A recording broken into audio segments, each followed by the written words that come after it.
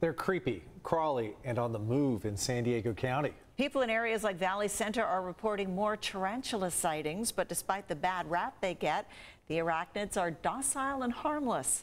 In this Earth 8 report, meteorologist Shawn Styles tells us why we may see more of them this time of the year.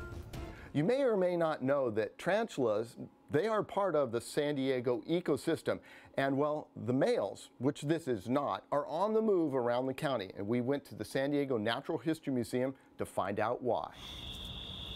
What is happening is it's males out looking for females to mate with. Which is the videos we've been getting from our East County viewers. Go away. And in typical male fashion, they're a little lost. A bird's coming down on them, Jim Berrian is an entomologist at the Natural History Museum here in San Diego. so they'll be crossing roads and, and going through fields and yards and all that sort of thing. They don't know where they are. They're just out sort of cruising. Which is generally at night. Tarantulas are nocturnal. More nocturnal. You don't see too many of them moving around out during the daytime uh, unless they've been disturbed. The migrations that most people report, we hear they're at uh, sunset or after. As dangerous as that might be for the male tarantula, the end can come much quicker if they don't do everything right. If the male approaches a web and doesn't make the right moves, he can become food. What about us? Are they threatening to humans? No, unless you handle them poorly. and we'll see what happens today here in a bit.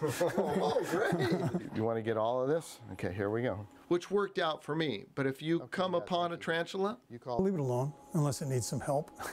then you can maybe scooch it into a box and remove it if it's in an area you don't want it to be in. You'd really have to push it to be bitten by a tarantula. But if you are, go see a doctor, emergency room, just to make sure. Uh, there people do have. Uh, allergies to the venom, mm -hmm. and that can be a problem. Uh, and uh, kind of better safe than sorry on that. According to Jim, it appears that the tarantulas will be on the move probably for the next couple months. That, though, depends on weather patterns and if they find a mate. We'll send it back to you in the studio. I'm allergic to them. Is that what it is?